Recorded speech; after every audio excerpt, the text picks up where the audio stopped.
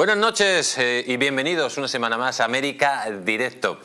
Esta semana hemos vivido un auténtico terremoto Milei en Argentina. Amigos, las fuerzas democráticas han tumbado al marxismo, al marxismo imperante en Hispanoamérica y le han dado un golpe que todavía están recuperándose de él. Los datos han sido brutales. Eh, fíjense, han reconocido una paliza, imagínense con el puchero que hizo Massa, Milei ha tenido que ganar prácticamente por el 70% de los votos.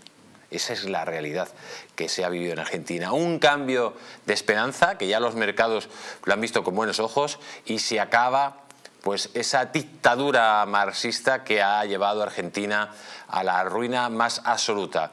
A partir de ahora solo toca subir, porque Argentina no puede caer más bajo que como cayó con el peronismo y el marxismo que representa el crimen internacional. Y amigos, hoy con nosotros está nuestro querido Juan Solaeche. Don Juan, buenas noches, ¿cómo está usted? Muy buenas noches, gracias por invitarme, muy amable. Digo que fue terremoto mi ley y eh, ha sido de esos terremotos que son buenos sobre todo para quitar las malas hierbas del camino, ¿no? Bueno, ha sido un triunfo de la libertad más absoluta frente, frente a todos los poderes establecidos, frente al, grupo de Puebla, frente a todo el, social comunismo narcotraficante que, que le rodea, bueno, pues ha sido un, soplo de aire fresco. Esperemos, eh, brindemos por el éxito de Milei, sobre todo por el éxito de Argentina. Pues amigos, Argentina empieza su recuperación y si Milei actúa como tiene que actuar, seguramente que el país hermano volverá a ser una de las primeras potencias económicas del mundo. Pero mientras tanto, siempre en estos triunfos pues eh, salen las malas hierbas, los eh, apestados a decir directamente que si Milei si es como Varela, que si Milei es como Franco, que si es como Pinochet, pero a ver, y nos referimos, como siempre, al tonto del pueblo que es el presidente de México. Ese tipo que está unido, uña con, con pie, a los narcos de México, que los abraza y que les gusta lo que representan. Dice ahora que ley es un dictador. No, no. Lo que representa la dictadura y la falta de derechos es el cártel de Puebla y tú eres uno de los principales miembros del cártel del pueblo. Vamos a escuchar a este personaje siniestro donde los haya. Decirlo en una palabra, con todo respeto, fue un autogol.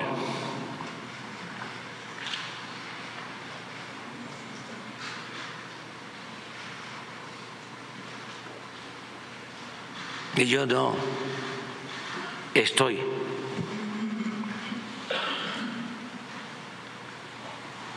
de acuerdo, aunque respeto la decisión de los pueblos, con los gobiernos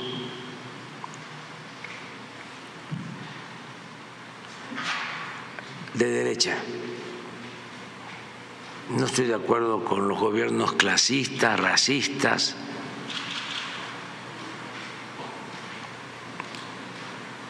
estoy de acuerdo con la hipocresía. Pues si no estás de acuerdo con la hipocresía, ¿qué haces tú gobernando? Porque más hipócrita que tú no hay nadie, López Obrador. Pero amigos, ¿lo han visto ustedes? Que parecía que le faltaba oxígeno en el cerebro. O una de dos, o llevaba alguna copa de más. Pero como un presidente de una república puede decir que si está de acuerdo o no de acuerdo, pero, pero tú has, gobernado mi ley. ¿Ha hecho alguna medida Milei? De momento, felicítalo. Tenemos al otro lado de Sky a nuestra querida Azabache. Buenas noches, Azabache, ¿cómo estás? Y muchísimas felicidades por ese gran triunfo que sé que has participado para que la libertad avance y se acabe con el, ese eje del mal poco a poco. Primero ha sido Ecuador y ahora Argentina. Tenemos que reconquistar Hispanoamérica del crimen organizado. Así es, un abrazo enorme de corazón a corazón a todos los amantes de la libertad. De verdad que estoy emocionada y como estoy emocionada digo, viva la libertad carajo, viva la libertad carajo, viva la libertad carajo. Pues exactamente, viva ahora más que nunca la libertad, carajo. Em, cuéntanos, porque vemos, por ejemplo, que esto ha hecho muchísimo daño en el cártel de Puebla. Un ejemplo claro ha sido, por ejemplo, aquí en España, el presidente marxista que gobierna nuestro país. Eh, también el presidente de México es el presidente que la democracia no le gusta mucho y solo le gusta pues eh, eso que representa ese eje del mar que representa el cártel de Puebla. Pero en, Argentina, ¿cómo se lo han tomado todos estos peronistas que además de hacer trampas, porque la victoria de Milei no ha sido por un 55%, ha sido por muchísimo más. Lo que pasa es que ha sido tan arrolladora que ni siquiera el puchero les ha servido. ¿Cómo están ahora mismo los marxistas en, en Argentina? Y llorando. la verdad es que están, llorando por las esquinas, pero es que aquí eh, realmente mi ley se impuso no por la fuerza, sino por el conocimiento. Nos brindó a toda la ciudadanía el conocimiento de las ideas de la libertad y, toda la ciudadanía de todos los estratos sociales comprende realmente de economía, de la, de la importancia de ser libres. Mucha gente humilde, yo me las consigo en la calle, me dicen, Azabache, yo quiero este, yo no quiero que me den planes sociales, yo quiero levantarme, yo quiero ser una persona de bien y prosperar en libertad, o sea, es cosas y usando términos económicos que todo esto lo hizo mi ley. Yo, yo quiero decir algo, ¿no? Eh, tanto López Obrador como muchos de los, de los presidentes alineados arrodillados a la tiranía venezolana, eh, la verdad es que son eh, ignorantes en el caso de AMLO, lamentablemente, y la ignorancia no es falta de conocimiento, la ignorancia es el negarse a recibirlo. Y, por supuesto, gente cómplice, mafiosa de una organización criminal transnacional como es el socialismo del siglo XXI, porque esto está apoyado por el narcotráfico y el terrorismo. Y no olvidemos que López Obrador, por ejemplo, recibió dinero de, de Venezuela desde el 2006 para que fuese presidente. Entonces, no podemos comparar eh, dictadores tiranos como Chávez, eh, este, Maduro, Videla eh, y todos los, tiranos con una persona, un economista preparado en economía, maestro, docente, catedrático, ha escrito muchos libros, ha hecho maestrías. O sea, la calidad humana es una moral impecable. Y además, el, ser libertario es el respeto irrestricto al proyecto de vida del prójimo, basado en la no agresión y defendiendo nuestros tres derechos fundamentales, derecho a la vida, a la libertad y a la propiedad privada. Como te das cuenta, esto es muy diferente a cualquier cosa de dictador, está justamente del lado contrario de todo eso. Y yo te voy a decir una curiosidad importante que nunca en la humanidad hemos tenido un gobierno de un presidente libertario. Esto es un hecho histórico que debido a todo como fue el mundo, ¿no? Eh, eh, este, envolviéndose en esa oscuridad socialista, es una luz de esperanza. Y no solamente para Argentina, yo digo que para la región, para nivel global, para España también. Esto hay que, contagiar las ideas de la libertad. Eh, Azabache, te voy a preguntar el domingo qué hiciste cuando ya se sabía que Milei era presidente de la República Argentina. Mira, me siento una privilegiada que me, invitaron a estar en el búnker con él. Yo conozco a Milei desde antes que fuese eh, político, lo conozco desde, desde que estaba en los medios de comunicación como economista y de hecho cuando a mí me censuran en uno de los canales, él, eh, nos encontramos y, y yo estaba muy desesperada en ese momento porque sabes que en Venezuela no hay libertad de expresión ni derecho a la información ni nada por el estilo. Y él me dice, genia, porque él me venía viendo en los medios de comunicación y yo le digo, Milei, por favor, no nos dejes solos, me acaban de censurar.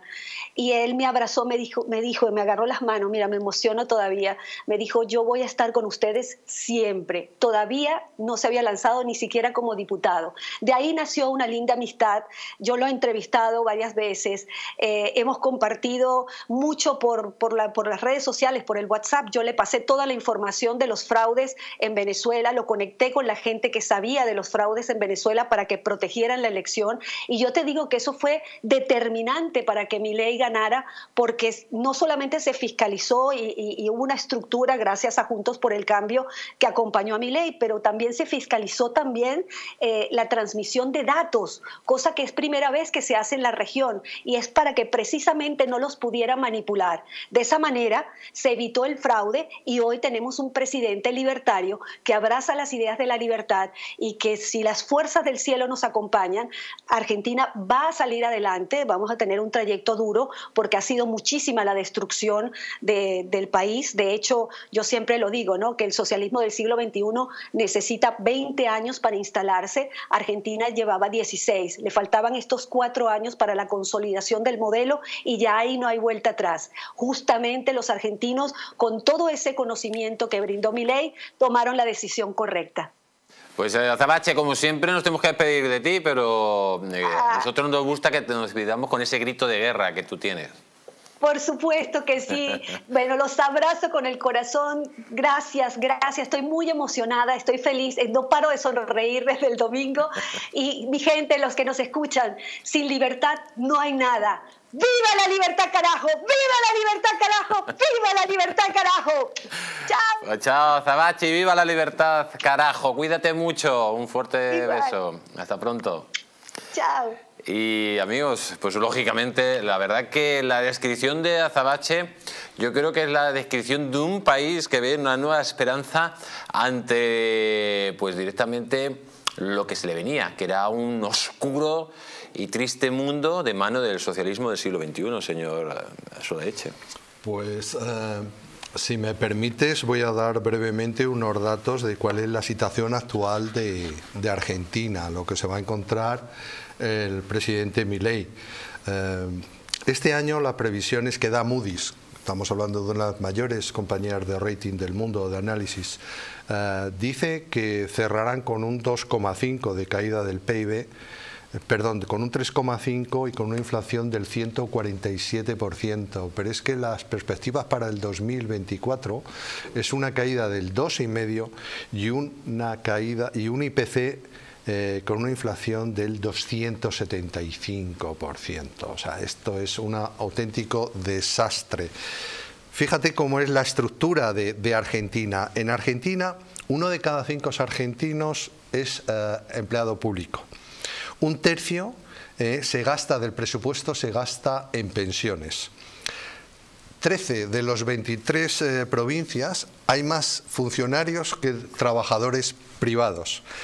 Eh, en este momento hay 3,3 funcionarios, 3,3 millones de funcionarios públicos frente a 6 millones de trabajadores privados que soportan todos los impuestos para pagar esta gran estructura.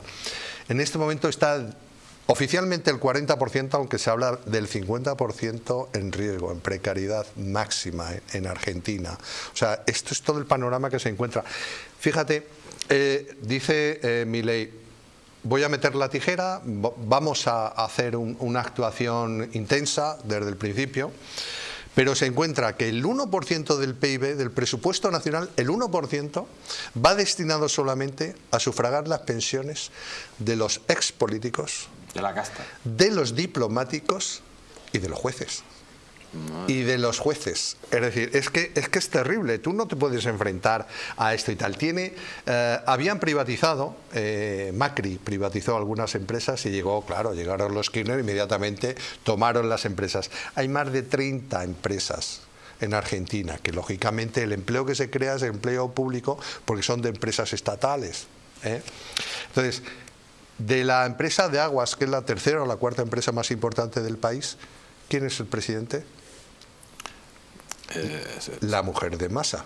Ah.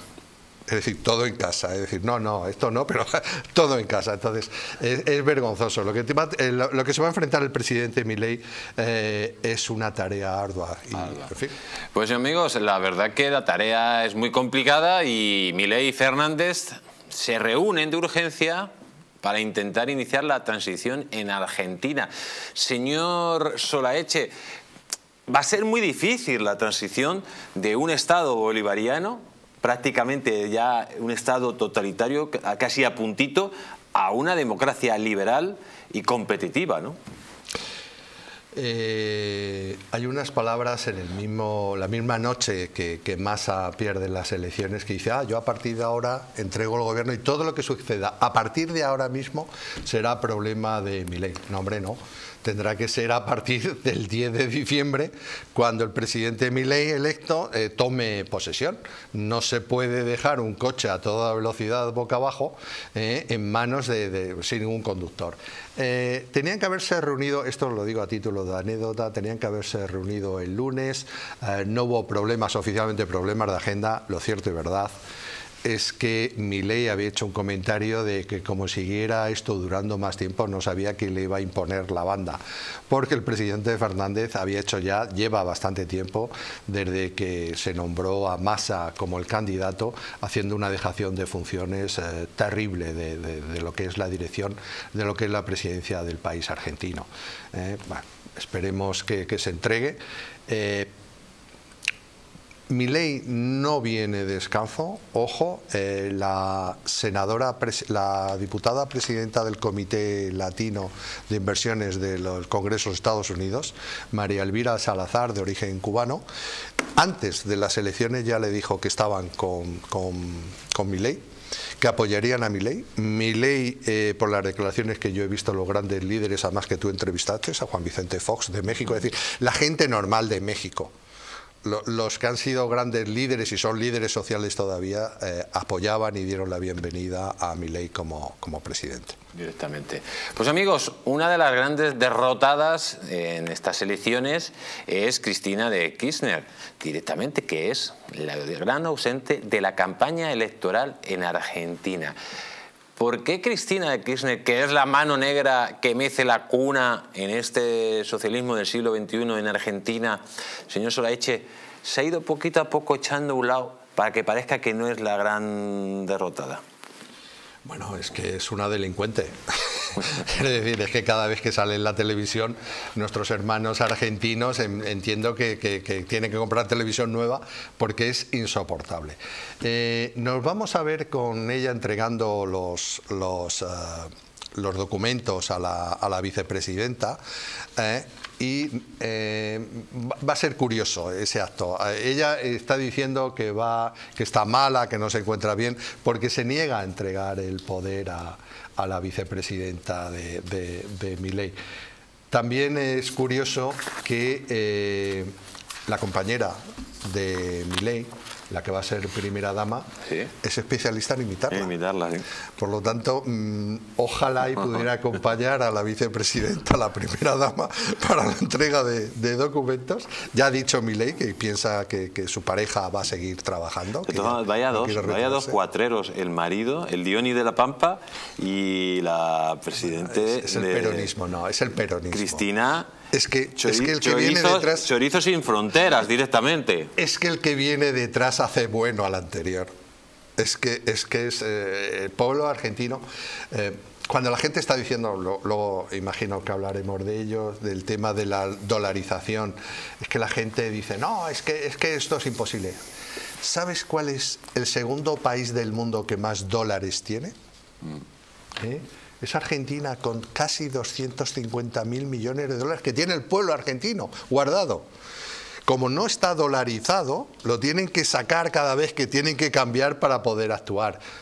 ley dice, bueno, vamos a ver, si somos el segundo país más rico en tenencia y posesión de dólares, 250 mil millones de dólares, bueno, pues la economía está dolarizada, el único problema va a ser la paridad. Más o menos se está hablando alrededor de mil pesos un, dólar, que es eh, un poco los ajustes, quizás un poquito menos. Pero bueno, mi ley es que tiene sentido común. Entonces, eh, yo creo que puede ser un éxito el tema de la dolarización, porque es, eh, bueno, extender a la realidad extender a, la, a oficializar la realidad de lo que es el pueblo argentino con el dólar. Pues vamos a continuar y vamos a continuar con, con mi ley, amigos.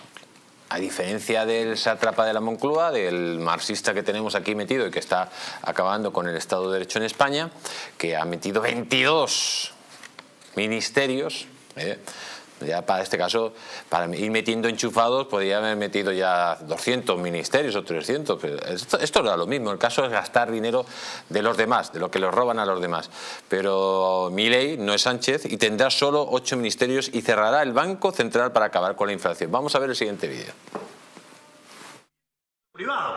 Nada bueno salió del sector público. ¡Afuera! Ministerio de Trabajo, Empleo y Seguridad Social. ¡Afuera! Ministerio de Educación adoctrinamiento, afuera. Ministerio de Transporte, afuera. Ministerio de Salud, afuera. Ministerio de Desarrollo Social, afuera. ¿Cómo queda el Estado? Ministerio de Capital Humano, Ministerio de Infraestructura, Ministerio de Economía, Ministerio de Justicia, Ministerio de Seguridad, Ministerio de Defensa, Ministerio de Relaciones Exteriores y Ministerio del Interior se acabó el curro de la política. ¡Viva la libertad, carajo! Pues ahí tenemos, amigos, es que es cierto, ministerios de Estado directamente. Lo que no se puede es hacer como hacen aquí en España, una tipa. Eh, ministerio de, Infancia. Ministerio de recoger las muñecas del campo. Eso es lo que están haciendo los comunistas para meter ahí pues una manada de enchufados, enchufados, luego chiringuitos, chiringuitos y luego el país se va a la ruina. Pero mucha gente compara a ley con vos y lo cierto es que ley está bastante lejos de lo que es vos. es un partido conservador, mientras que ley es un partido, eh, representa un partido ultraliberal, por eso se incluso se habla de eh, que es libertario. ¿no? Vamos a leerle la siguiente noticia. Dice, no se parece a vos en lo económico, el plan de Milei para alcanzar a España en una década.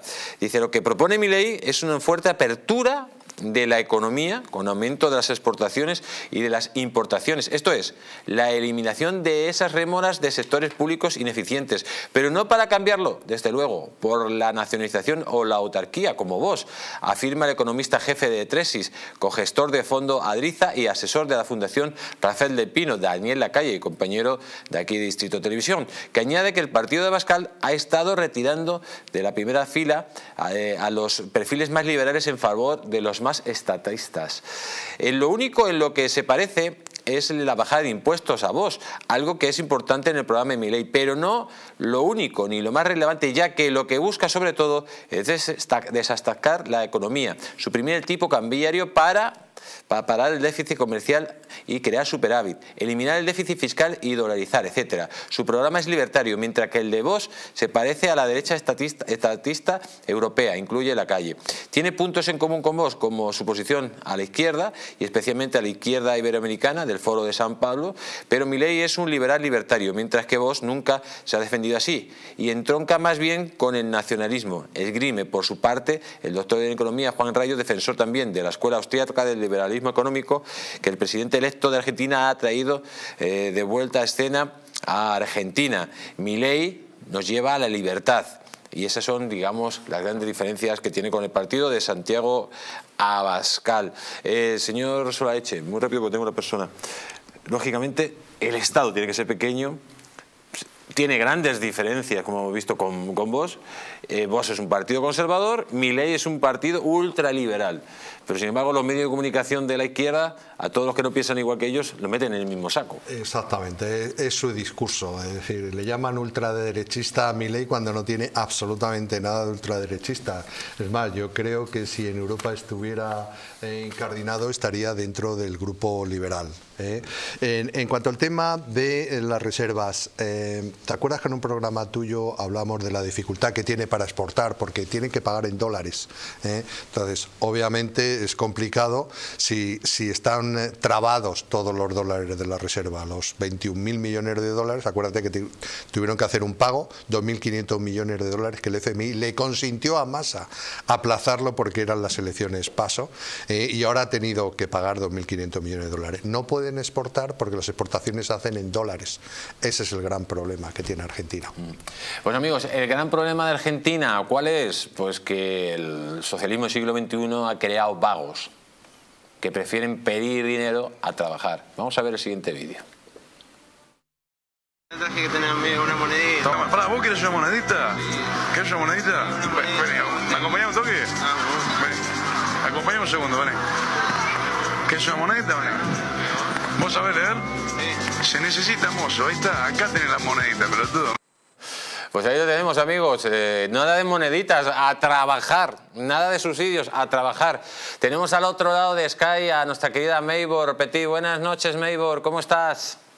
Muy buenas noches, Jesús. Un gran saludo desde acá, desde el otro lado del charco. Eh, Maybor, bueno, imagino que estarás muy contenta y que, lógicamente, eh, eh, Argentina puede ser el resurgir de las democracias en Hispanoamérica, pero claro, para hacer este resurgir hay que cambiar también la mentalidad de muchos que se han acostumbrado a vivir de los demás, no a vivir de su trabajo, sino a parasitar a la clase trabajadora, empezando por políticos y por una panda de pañaguados que ha rodeado siempre a ese régimen peronista, ¿no?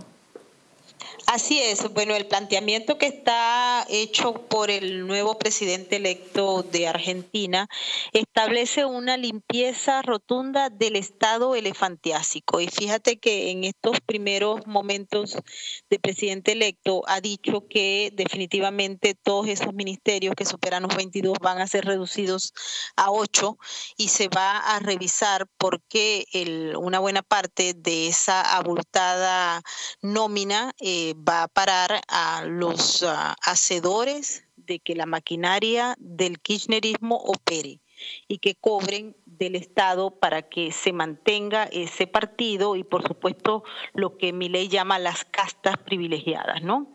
En Argentina también hay un enorme desarrollo de sindicatos ah, corporativistas que tratan de alguna manera de evitar que haya un cambio profundo como el que está planteando mi ley. Así es que un candidato que prácticamente rompió el sistema del Estado argentino va a darse ahora el trabajo de tratar de limpiar esos sindicatos corporativos y todos esos parásitos que viven de los argentinos que sí trabajan y que sí quieren progresar.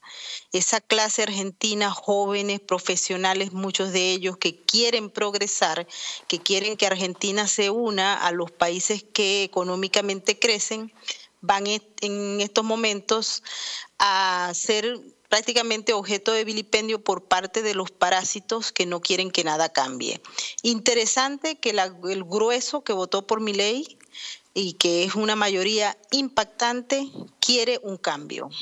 Lo malo para los parásitos es que hay una decisión y que no solamente parece ser un programa de gobierno ajustado a lo que son la producción económica y el mejoramiento de la vida de la gente, sino que adicionalmente a ello, la crisis económica que ha generado el kirchnerismo en el gobierno no permite que los parásitos sigan viviendo de lo que ellos ah, están acostumbrados. Y la casta política corrupta tampoco va a poder seguir haciendo negocios si la sociedad civil y los opositores que son honestos acompañan a mi ley a cumplir con ese programa que tiene que está muy bien definido. Lo otro, Jesús, y esto hay que destacarlo también, es que los parásitos conformados a través de los piqueteros y de todos estos grupos urbanos, guerrilleros, que son anti cambio, vayan a generar un caos deliberado para evitar que mi ley gobierne y pueda ocurrir los escenarios que ya se habían planteado en el gobierno de Macri, en el que prácticamente los grupos organizados hacían y generaban disturbios a toda hora y evitaban a través de una serie de acciones que se tomaran decisiones en el Congreso, que se aprobaran paquetes de leyes que eran diferentes a el objetivo de ellos de vivir como parásitos de la gente que trabaja y de las riquezas de la nación, sin que mover ni un solo dedo para ellos, solamente activarse desde la calle. Nosotros tuvimos oportunidad de estar allí en Argentina y hemos ido en varios eh, viajes y hemos observado cómo los sindicatos, las mujeres de los pañuelos, las madres de la Plaza de Mayo, todos estos grupos que viven del Estado están hechos justamente para torpedear cualquier elemento, proyecto de ley o algún político que proponga algo diferente a lo que ya ellos están acostumbrados. Pues Maybor, muchísimas gracias por estar con nosotros y como siempre, eh, un placer tenerte aquí y recibe un gran abrazo. Igualmente para ti y para toda la audiencia. Y amigos, nos vamos a publicidad, unos minutos y volvemos muy rápido.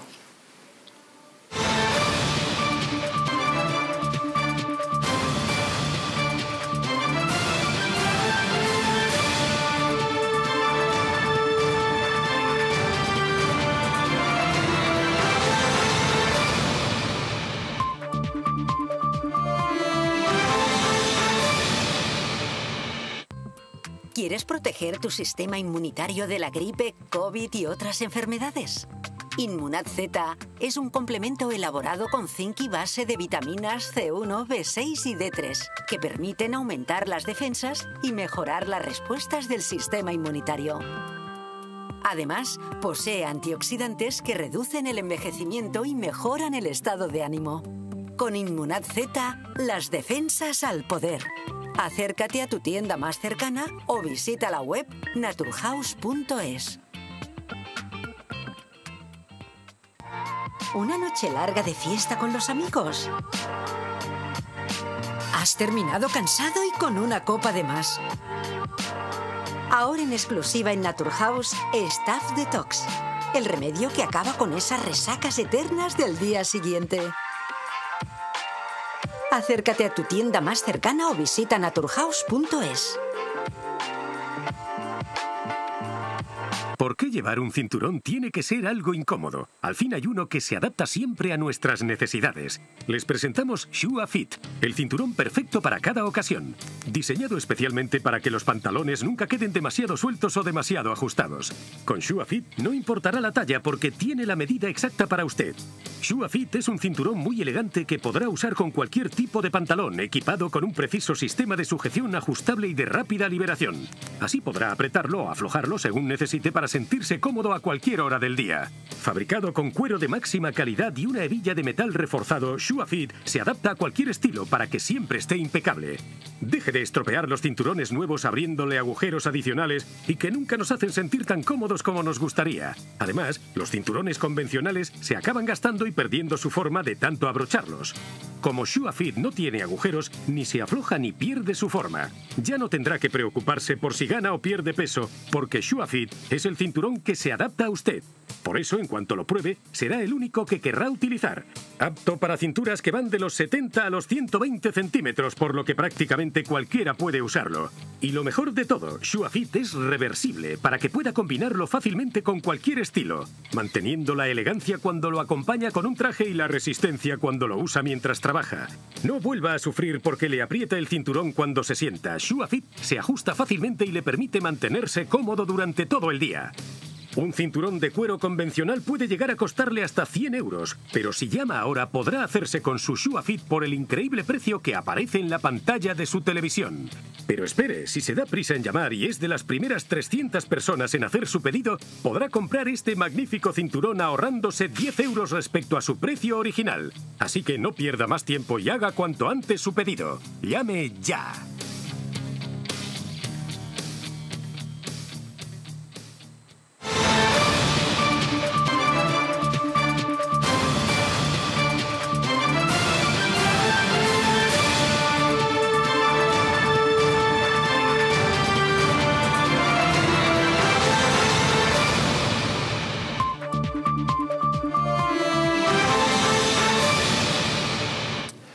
Pues ya hemos vuelto de publicidad y continuamos aquí en América Directo y estamos analizando la victoria sin paliativos de la libertad contra el socialismo del siglo XXI.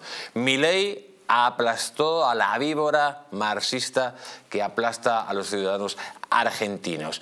Y una de las cosas que ha hecho Milei es sobre todo, como ha dicho Azabache antes, conectar con el pueblo, explicar lo que es el socialismo del siglo XXI.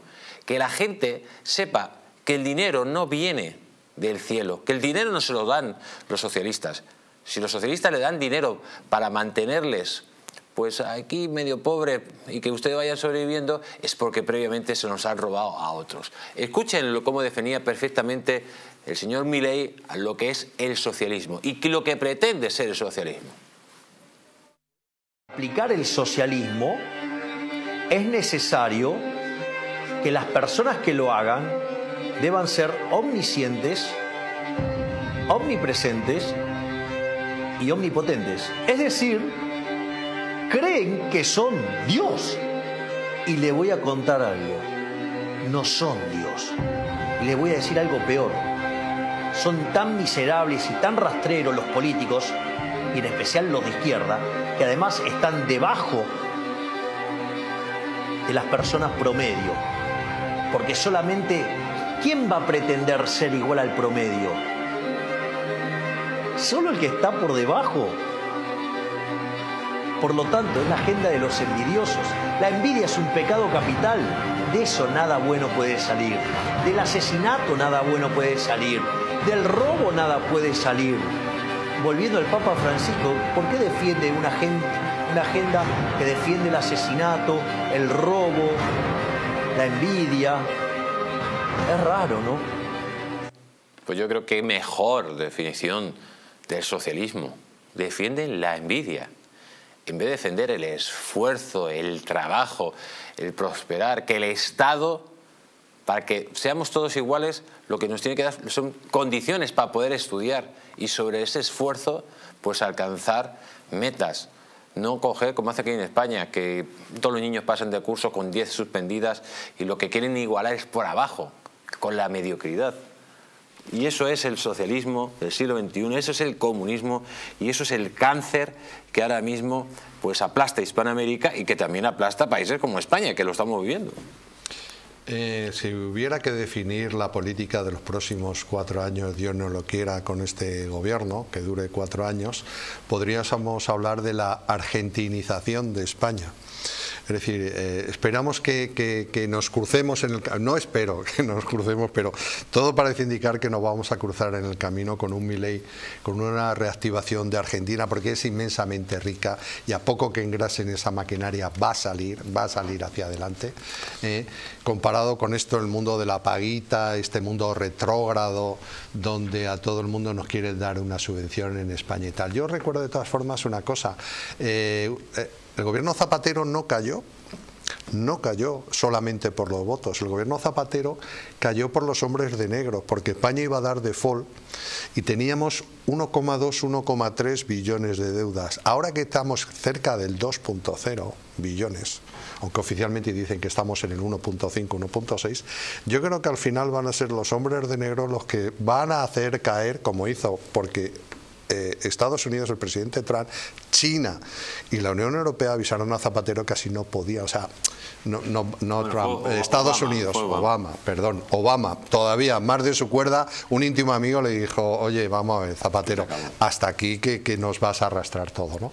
Entonces, eh, me parece a mí que va a suceder lo mismo. Y vamos a ver, seguro, convencido, vamos a ver Argentina, porque ha despertado eh, el 30% la subida en bolsa, IPF ha subido otro 30%, es decir, hay una ilusión y cuando tú arrastras a un pueblo que es inmensamente rico, como es Argentina, la arrastras a una, a una ilusión, yo creo que Argentina en poco tiempo, si le dejan, si, si Dios quiere y no le pasa nada a mi ley, eh, podemos ver una Argentina productiva.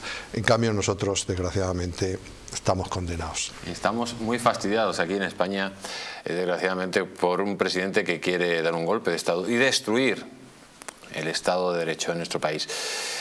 Vamos a continuar, porque atención lo que dijo Bukele. Bukele se burló de Gustavo Petro tras la victoria de Javier Milei en Argentina. Y ahora dijo, ahora dilo sin llorar. Tenemos al otro lado de Sky a nuestro querido Hugo Hacha. Buenas noches, don Hugo, ¿cómo está usted? Muy buenas, apreciado Jesús. Siempre es un placer. Cuando Bukele le dice a Petro, ahora dilo sin llorar, ¿a qué se refería? Bueno, eh, para decirlo rápidamente, esta es una secuencia de intercambio en la red social X, eh, antes Twitter, a donde Iván Duque felicita eh, a Javier Milei por la victoria conseguida en las elecciones en Argentina. Inmediatamente Petro replica, en cierta medida casi hace una paráfrasis de lo que había dicho unos minutos antes Nicolás Maduro, que es básicamente que en Argentina ha ganado la ultraderecha neonazi. ¿No es cierto? Eh, palabras más, palabras menos. Y eh, Bueno, Bukele, que puedes estar de acuerdo, en desacuerdo con él, con su plataforma política, con su filosofía, con el Partido Nuevas Ideas, pero es un maestro de la comunicación, esto está sobradamente probado, le pone esta frasecita eh, muy, muy propia de la juventud hoy día que dice, ahora dilo sin llorar, refiriéndose a lo duro que le resulta a, este socialismo del siglo XXI el aceptar que un candidato libertario eh, pueda haber vencido en las elecciones argentinas. Mm. Luego le respondió la hija de Petro, dijo Sofía Petro, respondió a Bukele tras la burla que hizo a su padre. Esto fue lo, que dijo. ¿Qué es lo que dijo la hija de Petro, la hija del, terrorista Petro? Bueno, eh, eh, apreciado eh, Jesús, más que el tema de la cuestión de, de, la respuesta de la hija de Petro, que por cierto, Petro utilizó para victimizarse cuando durante un partido de las eliminatorias para la próxima Copa del Mundo el estadio entero en Colombia empezó a corear el nombre de Petro y no precisamente para elogiarlo. Es lo que menos nos debe preocupar. Es algo que tú señalas constantemente, es la destrucción y el asesinato de la reputación que como método hizo esta izquierda del socialismo del siglo XXI y la convirtió en una práctica constante. La idea de equiparar a Milley con el nazismo, primero es repelente, porque para quienes nos preocupamos de estudiar un poco la historia, el nacionalsocialismo, al igual que el fascismo, son corporativismos derivados de la misma matriz del socialismo y el comunismo. Son concepciones que anulan la libertad individual y la someten a un Estado que, como el Leviatán, se dedica a reprimir las libertades individuales. Entonces, desde ese punto de vista ya es, vuelvo a repetir, conceptualmente repelente. Pero ¿por qué se hace? Se hace para descalificar, para rebajar y para erosionar la credibilidad que la gente que cree en las libertades, como tú, como yo, como la gente de bien, como lo dijo Milei en su discurso de Asunción, eh, estamos más preocupados en que nuestras sociedades progresen, avancen y que logren el desarrollo y la obtención de lo que en Estados Unidos eh, se define como los sueños de la mayoría, de una forma honesta, de una forma ética y de una forma que implique la administración de los recursos públicos en función de los ciudadanos. Entonces, creo que, que, en este juego este debe ser el mensaje, más que lo eventual, y vuelvo a repetir, lo magistral que fue en su momento y espontáneo el eh, mensaje de respuesta de Nayib Bukele al posteo del de, eh, señor Petro. Pues don Hugo Hacha, como siempre, un placer tenerle aquí y que tenga usted un buen día. Un gusto, querido Jesús, siempre. Y amigos, pues eh, lógicamente estamos ante una revolución. Y cuando los perros ladran, es que cabalgamos. ¿Qué quiere decir? Que cuando los perros del narcotráfico están que echan espuma por la boca, los narcodictadores, pues lógicamente quiere decir que la libertad ha dado un puñetazo encima de la mesa. Y atención a ese puñetazo que se ha dado encima de la mesa, porque, claro, uno de los mayores enemigos que va a tener ley externos, ya lo hemos visto, Petro, Allo y el dictadorzuelo de Brasil, el señor Lula da Silva, ese que tenía que estar en la cárcel y un tribunal político le sacó y luego ganó las elecciones de la forma que ganó.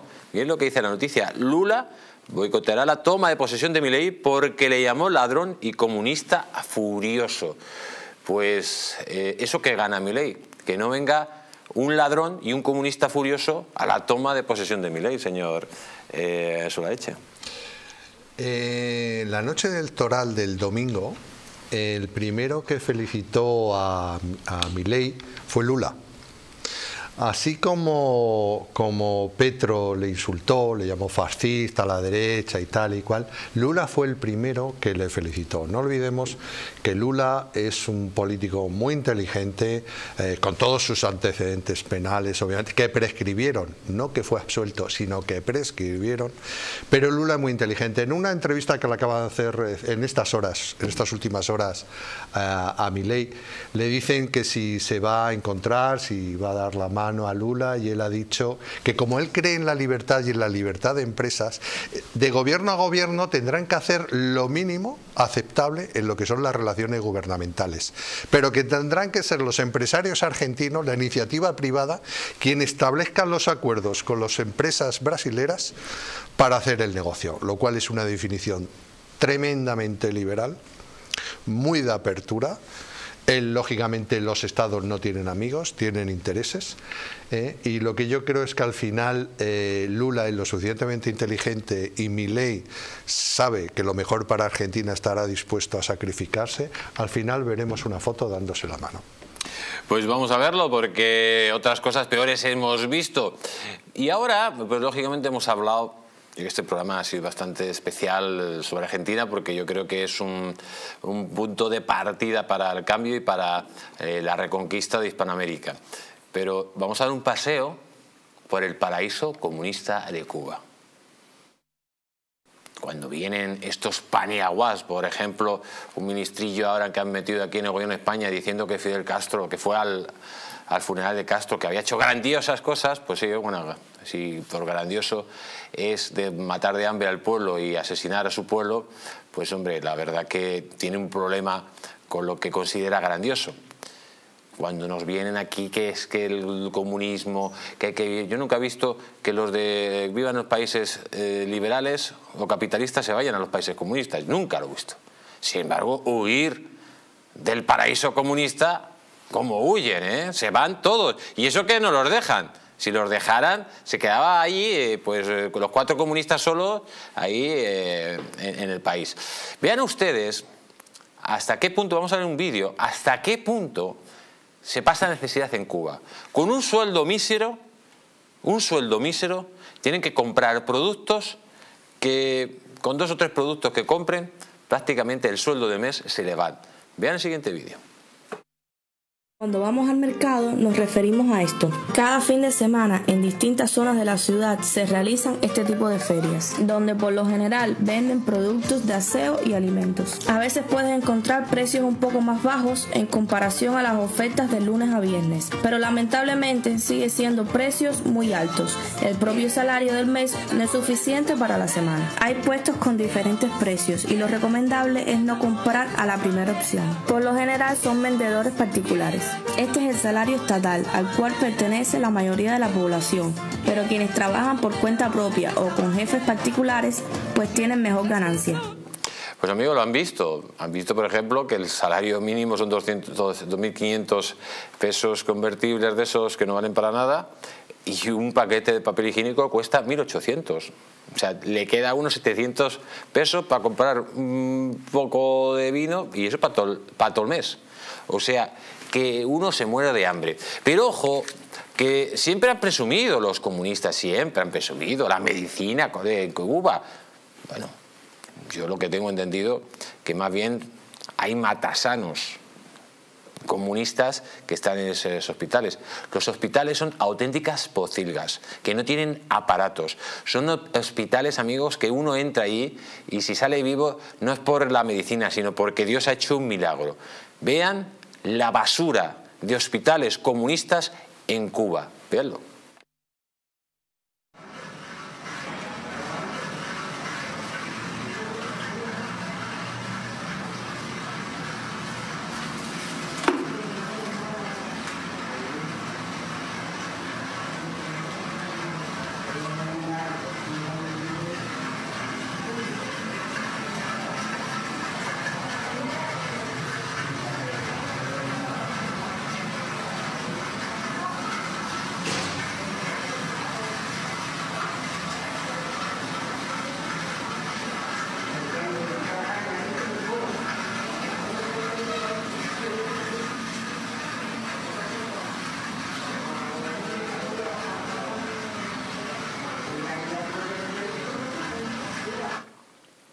Pues todavía nos vienen aquí los comunistas españoles y los comunistas hispanoamericanos hablando del paraíso comunista.